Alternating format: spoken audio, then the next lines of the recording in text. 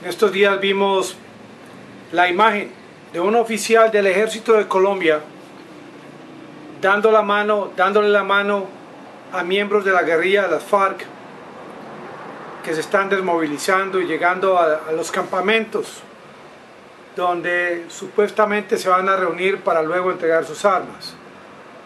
Pero en ningún momento vimos a ningún oficial del ejército, ni a ningún miembro de las FARC, de estos que quieren meterse en la política en Colombia, dándole la mano a alguno de estos campesinos que quieren sustituir el cultivo de la coca, pero a quienes el ejército en este momento les está erradicando a la fuerza sus cultivos.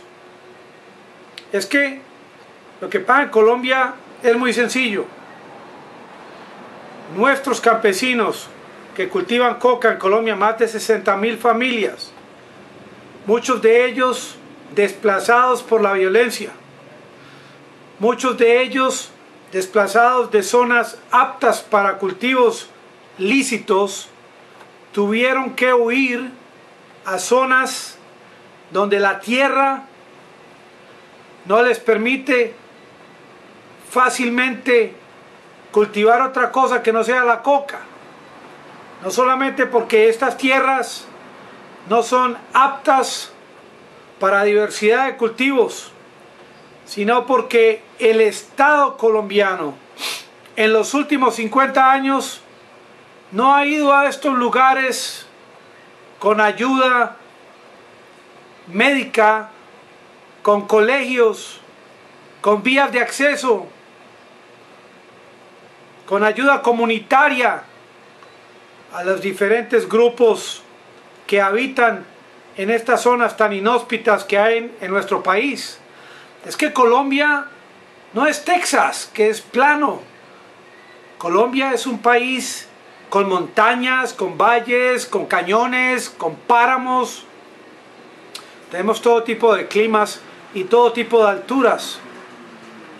Diversidad de lugares en Colombia donde es muy difícil hacer carreteras, no solamente por la topografía, sino porque el Estado se ha gastado la plata en otras cosas. Muchos de estos campesinos, y en especial estas 60 mil familias, les toca cultivar la coca, que es lo más fácil. La coca se las compran en la puerta de la casa a 3 mil pesos el kilo, las hojas de coca. Y con esa platica sostienen sus familias, mandan sus hijos a estudiar a escuelas, en muchos casos escuelas lejanas. Los niños tienen que caminar horas y horas. Con esta plata compran comida, con esta plata compran ropa.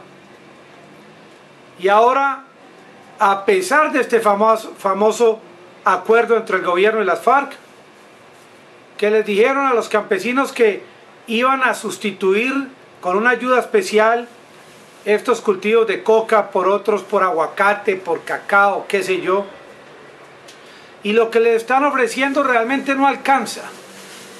La plata que el gobierno les está ofreciendo no les alcanza para tomar esa decisión de dejar estos cultivos y sentirse seguros de, que a un futuro cercano, seis meses, un año, dos años, van a poder empezar legalmente con un cultivo que lo puedan llevar por carreteras, así sea pequeñas, a lugares de acopio, cultivos que puedan llegar a supermercados o que se puedan exportar. Pero el gobierno les dicen que erradiquen y que en seis meses, un año, ya se les va a arreglar la vida a estos campesinos. Que pasa que en Colombia no es como lo de Estados Unidos. En Colombia, por ejemplo, el famoso Farm Bill, esta ley del campo, subsidia al campesino americano, lo mismo que en Europa.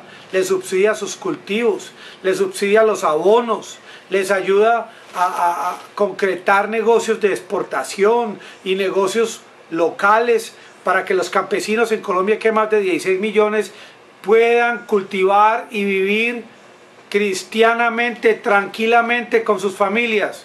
En Colombia eso no ocurre. En Colombia al campesino no se le subsidia, no se le ayuda, se le da unos préstamos a la loca que el campesino muchas veces sin estudio y menos estudio y conocimiento financiero malgasta este préstamo y con este préstamo va hasta la sepultura financiera y termina debiéndole a estos bancos y, le quitan la tierra y les toca seguir cultivando. Es que ellos no saben hacer más que cultivar. Y obviamente tienen que cultivar algo que puedan vender.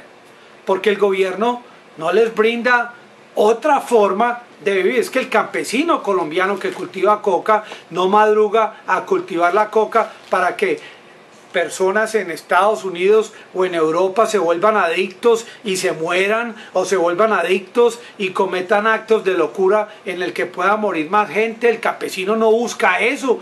Cuando el campesino es como las fábricas de munición en los Estados Unidos, estos obreros no van a fabricar estas armas o estas, estas balas porque quieren que con estas armas maten gente, se suicide la gente y ocurran grandes masacres. No, estos campesinos colombianos que cultivan la coca lo hacen porque tienen que comer, tienen que darle alimento a sus hijos y en ningún momento ellos lo hacen a propósito para que mueran personas en el mundo adictas a la cocaína, señores.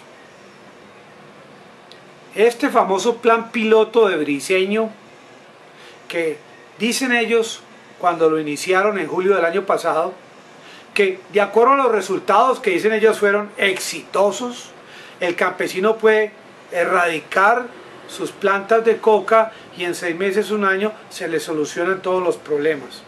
Esto no tiene pruebas científicas, no tiene pruebas técnicas de que esté funcionando.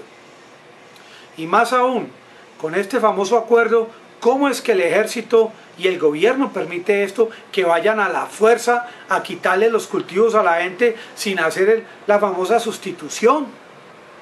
Tienen que haber papeles escritos de que fulanito, sutanito se le ofreció la sustitución y no quiso, antes de llegar a erradicar a la fuerza, cosa que es muy indebida. Porque este famoso plan de briseño, plan piloto, pero no sabemos dónde están los pilotos porque lo que está ocurriendo en este momento es indignante con lo que el ejército está haciendo en este momento, quitándole el sustento a miles de familias colombianas.